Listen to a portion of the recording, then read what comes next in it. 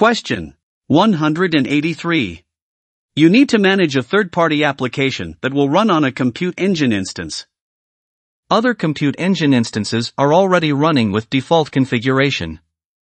Application installation files are hosted on cloud storage. You need to access these files from the new instance without allowing other virtual machines, VMs, to access these files. What should you do? A. Create the instance with the default compute engine service account. Grant the service account permissions on cloud storage. B.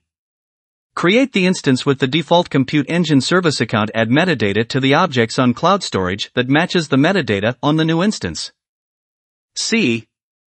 Create a new service account and assign this service account to the new instance. Grant the service account permissions on cloud storage. D.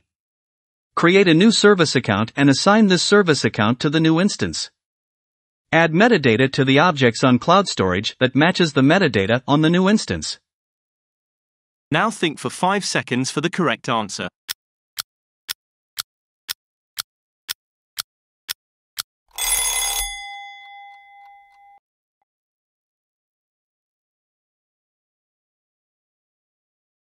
The correct answer is C.